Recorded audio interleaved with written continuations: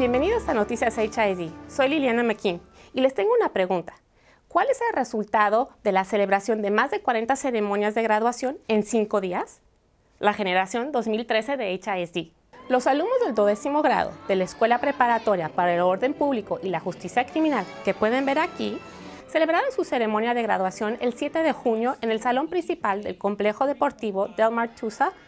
Cientos de padres de familia y otros parientes se presentaron para celebrar este importante logro con los estudiantes. Casi 9.000 alumnos de HISD recibieron sus diplomas en ceremonias que tuvieron lugar en varios sitios del distrito durante la primera semana de junio. La generación 2013 de HID tiene mucho de qué estar orgullosos. Hasta el momento, el monto total de las ofertas de becas que los estudiantes recibieron de universidades e instituciones de enseñanza superior de todo Texas y de todo el país sobrepasa los 182 millones de dólares. Oficialmente, el año académico 2012-2013 terminó el 6 de junio, pero algunas escuelas de HID mantuvieron sus puertas abiertas un día más para recibir una multitud de importantes visitantes. El 7 de junio, casi 300 empleados de Deloitte trabajaron todo el día para embellecer tres escuelas de HISD. La colaboración era parte de una iniciativa llamada Impact Day que la compañía auspicia todos los años.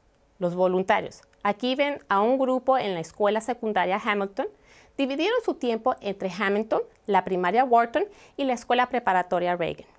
Al final del día, los empleados de Deloitte habían pasado un total combinado de 1.800 horas haciendo trabajos de jardinería y de mantenimiento de los parques escolares, pintando y construyendo bancas para los estudiantes. HISD ha abierto una oficina satélite para los padres y estudiantes de North Forest que necesitan más información sobre la próxima anexión, que entra en vigor el 1 de julio. La oficina, que está localizada en el Centro de Multiservicios Northeast, estará abierta el, de lunes a jueves hasta el 27 de junio. Ahí podrán hacer preguntas y presentar inquietudes a empleados de HISD, de las oficinas de apoyo escolar, de servicios académicos, de educación especial, de deportes y de consejería. El horario y los servicios que brindan cambian cada día, por lo que les aconsejo, antes de ir, consulten el calendario en houstonisd.org barra North Forest. También pueden llamar al 713-556-9595. Aunque estamos en verano, HISD continúa sirviendo comidas saludables y nutritivas a sus estudiantes. Denis Cantú explica. Todas las mañanas a partir de las 6, los empleados del Departamento de Alimentos del HISD comienzan su rutina para servirle a miles de alumnos. Es un día completo de hacer la comida, limpiar la cocina, servir los niños. Son estos trabajadores quienes hacen posible el programa de alimentos gratuitos del HISD para los niños del área no mayores de 18 años de edad durante el verano. Y así en esta forma, en el verano pueden venir y comer eh, un desayuno y un almuerzo todos los días. Hay más de 200 escuelas en este programa y cada una ofrece una variedad de alimentos. Me gusta la comida. Todos los alimentos, nos aseguran, son ricos y nutritivos. Me gusta venir aquí a comer. El menú de hoy es fajitas de pollo y tengo, tenemos arroz y frijoles a la charra que les gustan los niños. No hay requisitos para participar, solo tener un gran apetito. Sirvemos como 60 mil por día. HISD está preparado para servir más de un millón de alimentos este verano, así que todos están invitados.